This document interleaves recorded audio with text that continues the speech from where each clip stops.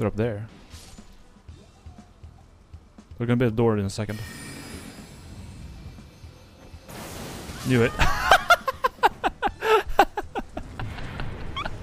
Imagine you open a door and just get a fucking comment in your face. oh my god.